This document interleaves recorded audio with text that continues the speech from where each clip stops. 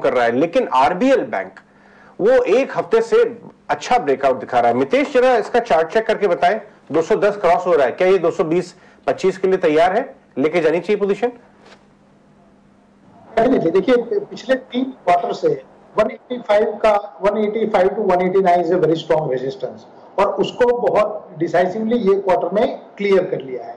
तो हमारे हिसाब से जो नेक्स्ट टारगेट बनना चाहिए वो 274 जो 31 मार्च 2021 का टारगेट था।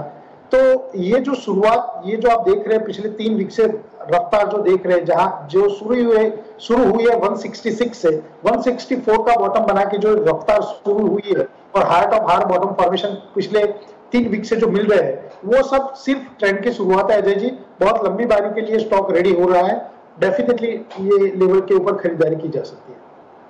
चलिए आरबीएल बैंक अच्छी खासी मजबूती, यहाँ पर छह, साढ़े छह परसेंट तक के मूव्स यहाँ पर नज़र आ रहे हैं। 210 211 के levels towards day high stock बढ़ता हुआ।